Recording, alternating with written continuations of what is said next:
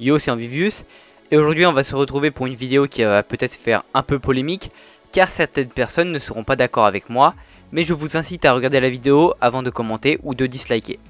De base je voulais juste faire une vidéo où je montrais comment autoclick euh, sur le jeu et plus particulièrement sur les machines à sous mais en discutant avec euh, certaines personnes du Discord de HoloGuide euh, comme Ram, d'ailleurs je lui adresse le bonjour s'il passe par là, j'ai remarqué que tout le monde n'était pas d'accord sur ce point si vous ne le saviez pas, l'event Nuit de Narshada consiste simplement à cliquer sur des machines à sous et euh, soit tu gagnes, soit tu perds.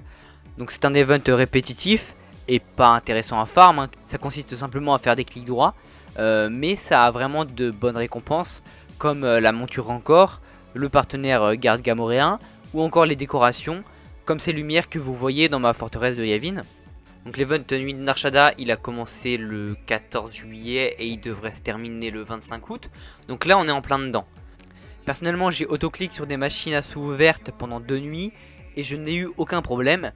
Mais apparemment, utiliser un autoclick sur le jeu est bannissable.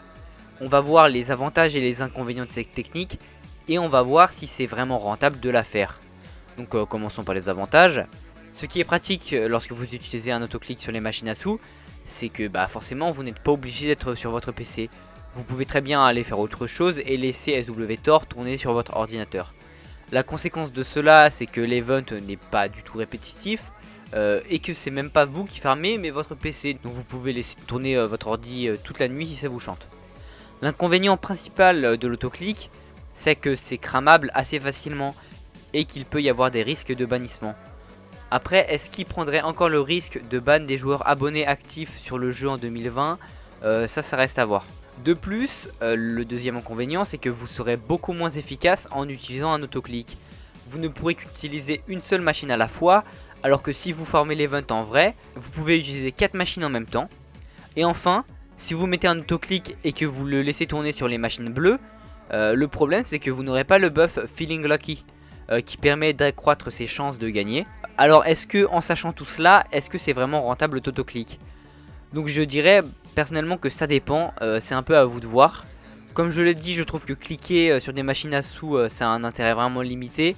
et que si vous utilisez un autoclick, bah je comprendrais totalement puisque je l'ai moi-même fait.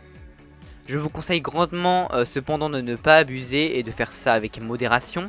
Et de ne pas vous amuser à faire tourner votre autoclick 7 minutes d'affilée sur votre PC parce que là c'est sûr que bah voilà en fait ça clique à un intervalle régulier, du coup toutes les 6 secondes. Comme c'est extrêmement précis, bah, c'est détectable assez facilement. Euh, donc euh, certains diront que c'est de la triche et que c'est pas du jeu. Donc moi je ne le vois pas comme ça personnellement, mais je vous invite à laisser vos avis en commentaire, un petit peu pour me dire euh, ce que vous en pensez. mais après tout, chacun pense ce qu'il veut, donc voilà. Hein.